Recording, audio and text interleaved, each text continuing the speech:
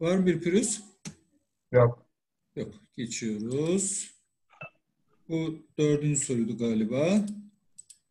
Beşinci soruya. Eksi K bölü Hadi bakalım. Buna ne diyorsun?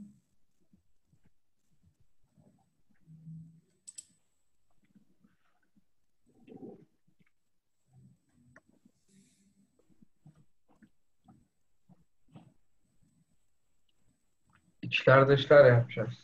Evet.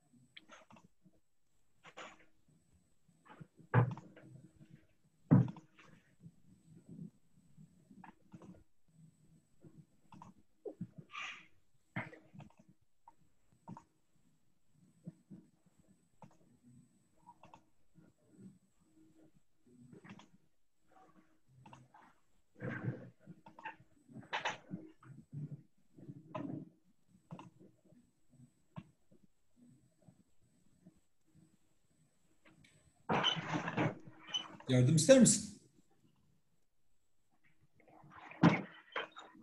Olur hocam. Bu kadar yardım yeter mi? Yeter.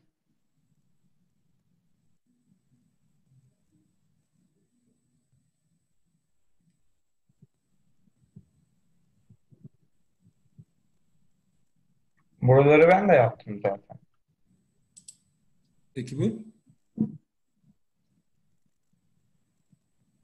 Zaten cevap çıkmış.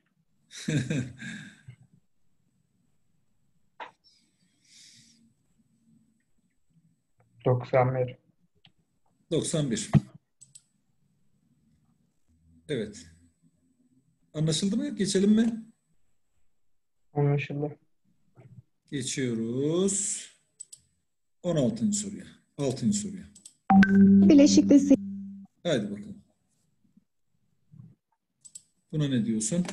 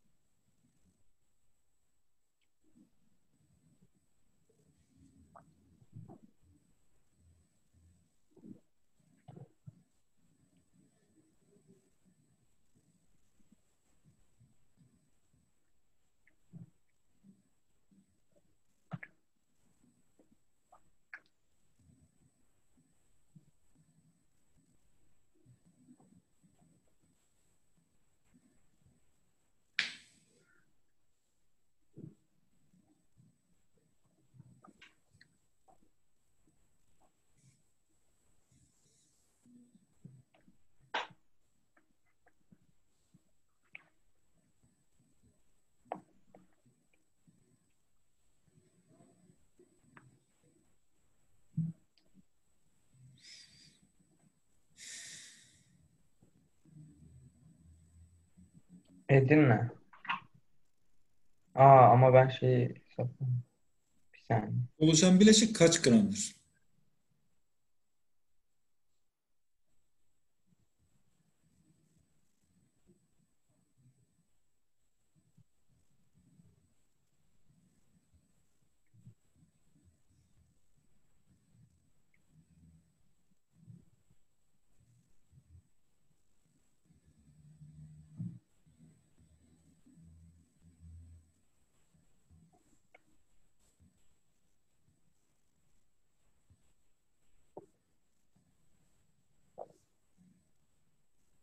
Yardım lazım mı?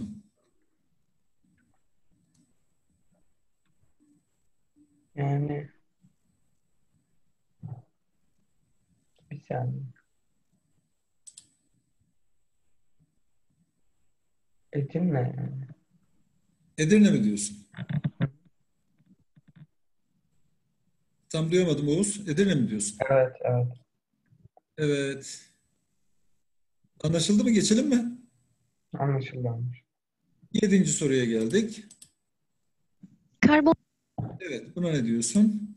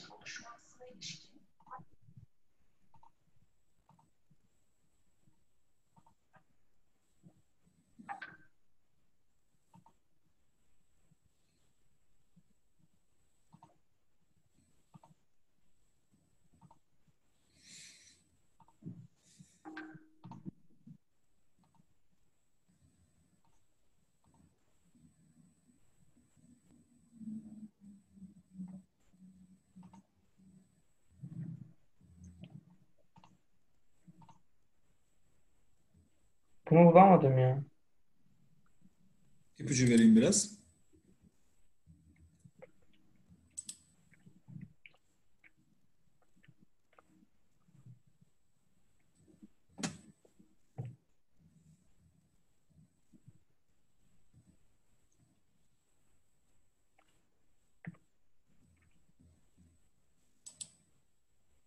Yani CH4 1'e 4 çıkıyor.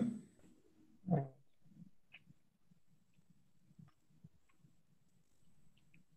Baştan alalım mı istersen?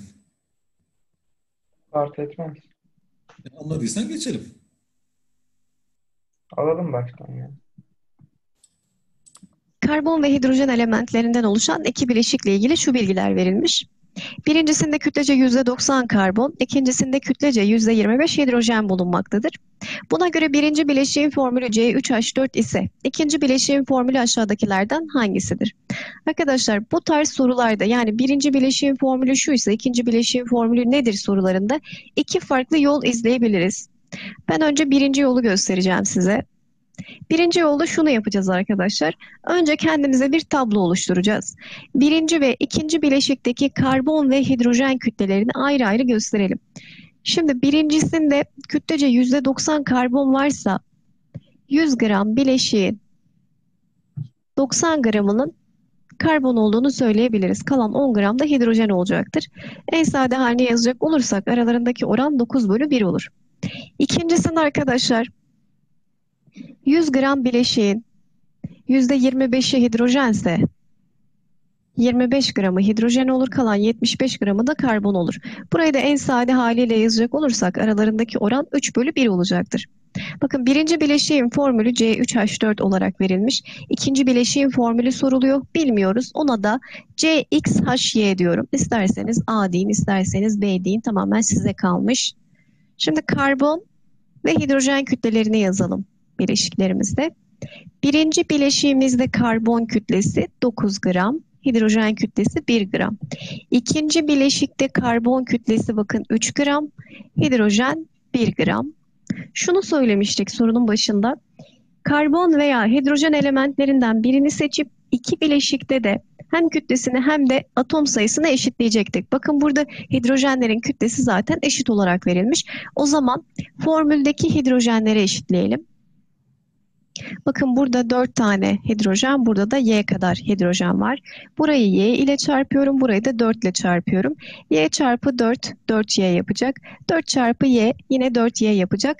Hidrojenlerin hem kütlesini hem de atom sayılarını eşitledik. Artık karbonlar arasındaki kütle ve sayı oranına bakarak X ve Y'yi çekmeye çalışacağız.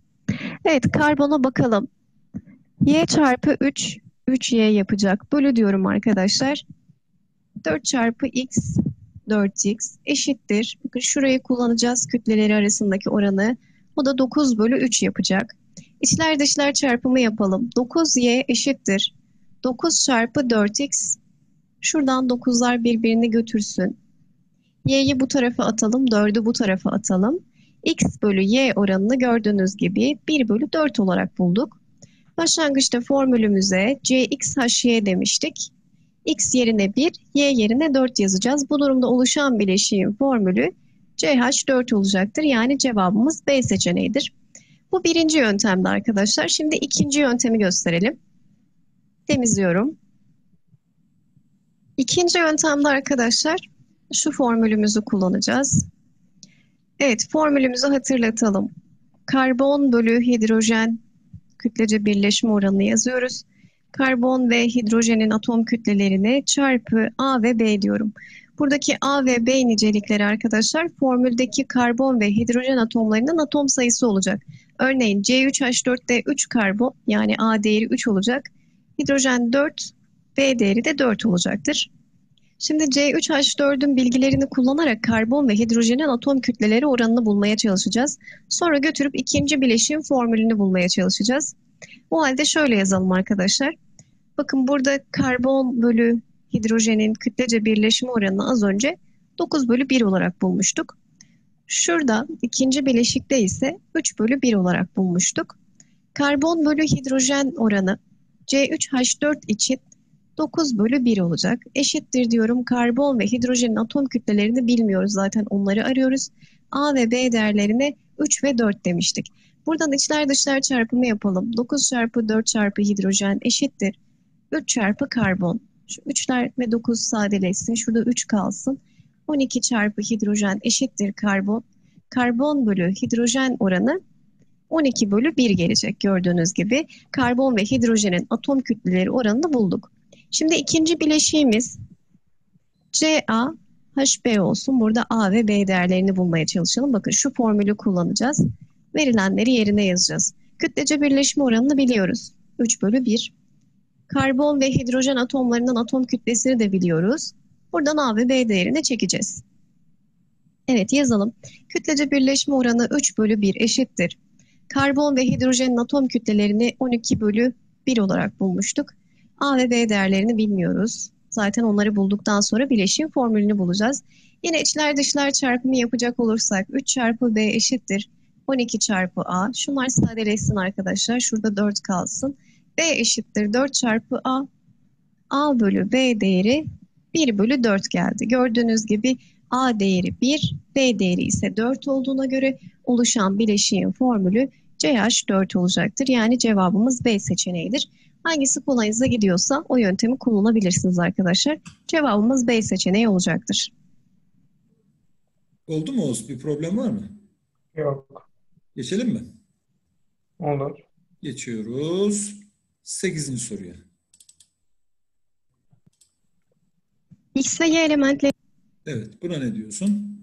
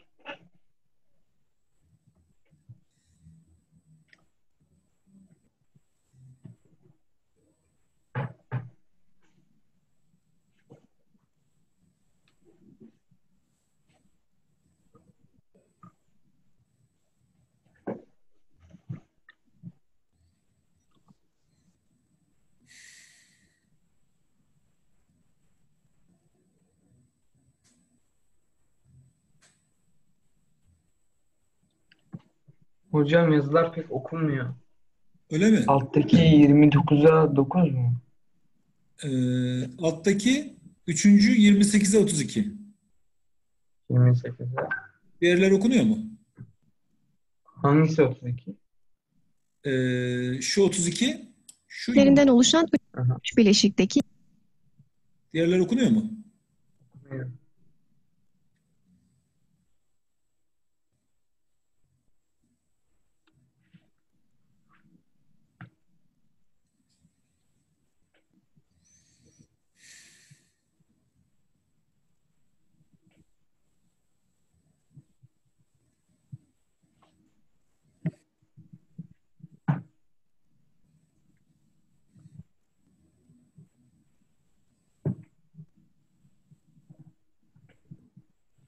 Adana.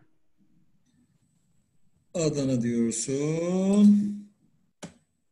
Doğru. Bir pürüz var mı? Yok. Geçiyoruz 9. soruya. Evet, buna ne diyorsun?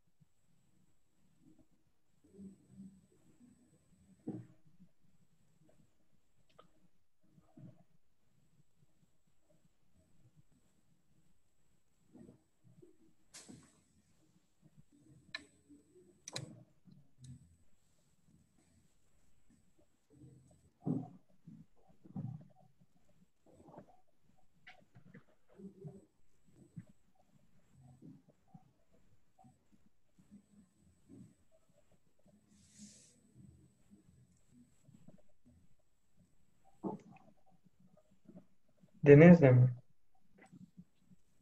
Edirne. Bilmiyorum. Ha, doğru. Anladın galiba. Anladım. Geçelim mi? Olur. Geçiyoruz. 10. soru. x'in Buna ne diyorsun?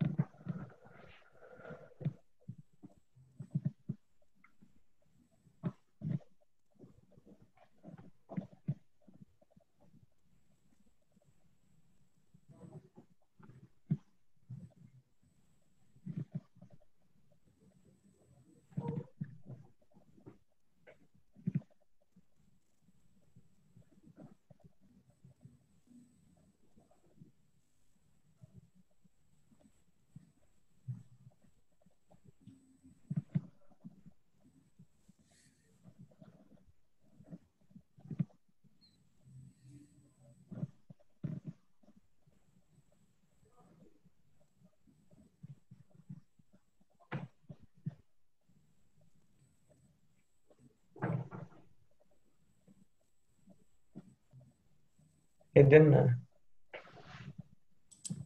Evet. Güzel. Bir pürüz var mı? Yok. Geçiyoruz 11. soruya. Yukarıdaki reaksiyonda Buna ne diyoruz?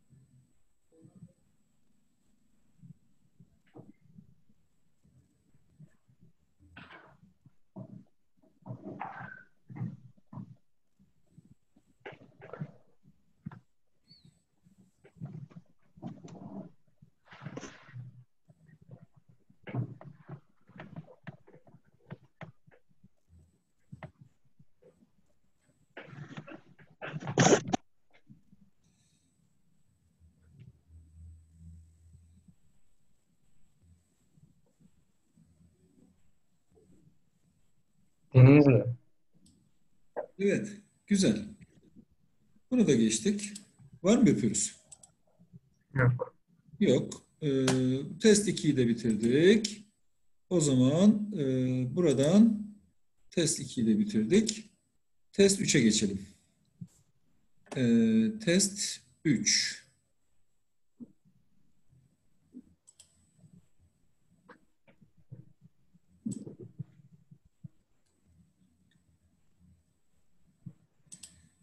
Test 3'e geldik.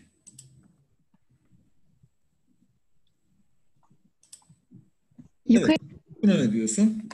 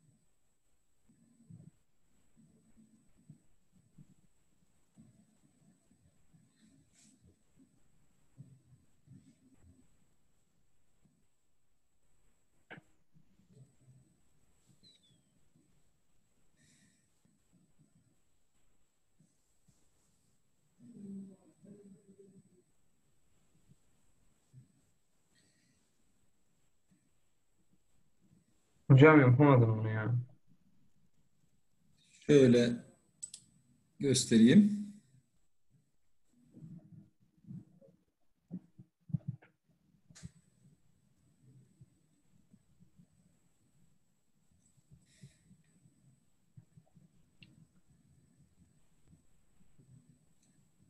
A2, B'de 3 çıkıyor.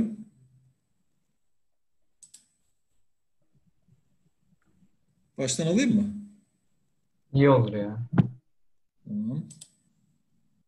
Yukarıdaki tabloda X ve Y elementlerinden oluşan iki bileşik için içerdikleri Y kütlelerine karşılık bileşik kütleleri verilmiş.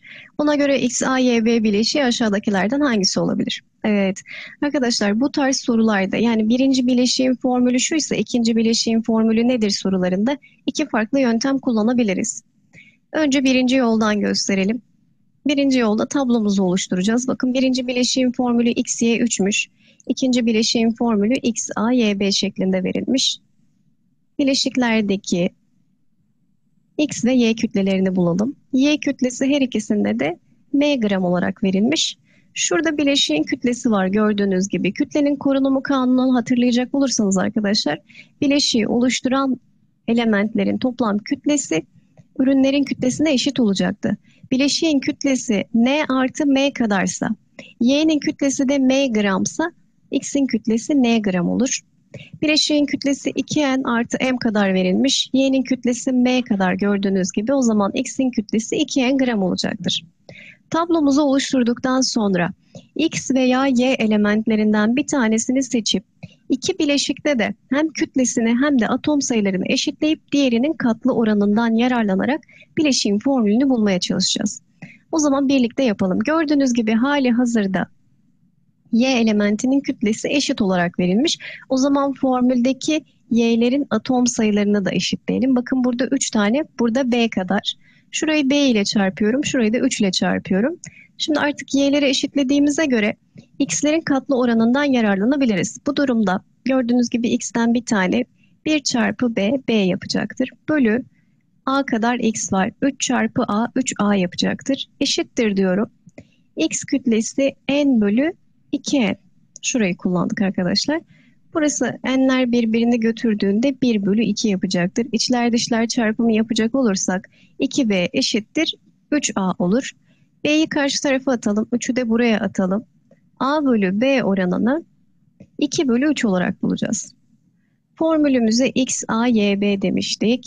a yerine 2, b yerine de 3 yazacağız. Bu durumda oluşan bileşiğin formülü x2, y3 olacaktır. Yani cevabımız D seçeneğidir. Bu birinci yolda arkadaşlar. Bir de ikinci yola bakalım. Şurayı temizliyorum. Evet, ikinci yolda da formül kullanacağız. Formülümüz şuydu. Kütlece birleşme oranı mx bölü my eşittir. x çarpı a bölü y çarpı b. A ve B nicelikleri formüldeki atomların atom sayısı olacak. X ve Y de atomların kütleleri olacak arkadaşlar. Bakın A ve B'yi biliyoruz biz. X, Y, 3 için. X, Y, 3'te X bir tane olduğu için A 1 olur. Y de yani B değeri de 3 olacaktır. Bu durumda bizim X ve Y'yi bulmamız gerekecek. Yani atom kütleleri oranını bulmamız gerekecek. Onu da X, Y, 3'ten yararlanarak bulacağız. Kütlece birleşme oranına bir önceki soruda mx bölü my değerine n bölü m demiştik. Eşittir diyorum arkadaşlar. X ve Y'nin atom kütlelerini bilmiyoruz. A ve B'ye 1 ve 3 demiştik. İçler dışlar çarpımı yapacak olursak 3 çarpı Y çarpı N eşittir. M çarpı X. Y'yi karşı tarafa atalım. M'yi de bu tarafa atalım. X bölü Y'yi buradan 3N bölü M olarak bulalım. Şimdi ikinci bileşiğin formülünü bulmak için yine aynı formülden yararlanacağız. Bu sefer X, A, Y, B için kütlece birleşme oranını yazalım. Bir önceki soruda X ve Y'nin kütlelerini bulmuştuk. 2N bölü M kadar olacaktır.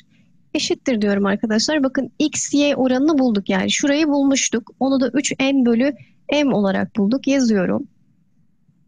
A ve B değerlerini bilmiyoruz. Zaten onları bulduktan sonra formülümüzü oluşturacağız. Yine içler dışlar çarpımı yapacak olursak 2n çarpı m çarpı b eşittir. 3n çarpı a çarpı m diyorum. Şurada n'ler birbirini götürdü. m'ler birbirini götürdü. Geriye ne kaldı? 2 çarpı b eşittir. 3 çarpı a. b'yi bu tarafa atalım. 3'ü bu tarafa atalım. a bölü b değerini yine 2 bölü 3 olarak buluyoruz. A yerine 2, B yerine 3 yazdığımızda oluşan bileşiğin formülü x2y3 olacaktır arkadaşlar. Bu da ikinci yol çözümü. Hangisi kolayınıza gidiyorsa cevabımız D seçeneği olacaktır. Evet. Bir pürüz kaldı mı? Yok. Geçiyorum o zaman. Ee, bunu da hallettik. İkinci soruya geldik. X2 Evet, buna ne diyorsun? Y bileşiğinin kütlece birliği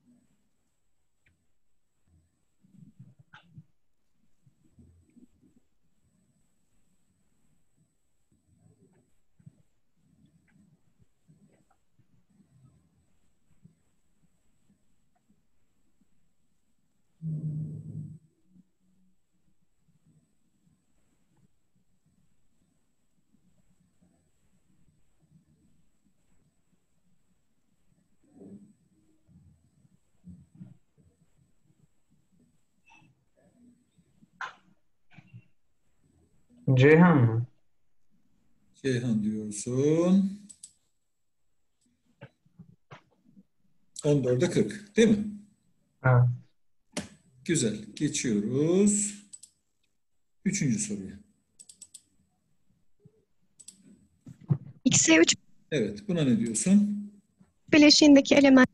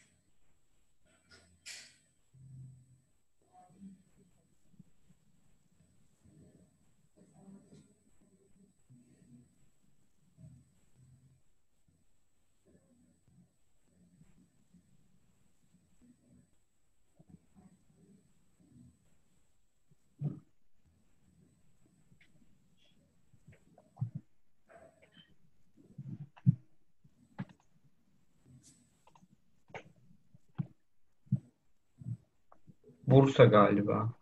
Bursa diyorsun. Doğru. Geçelim mi? Olur. Dördüncü soruya geçtik. kapalı bir kap Evet, buna ne diyorsun?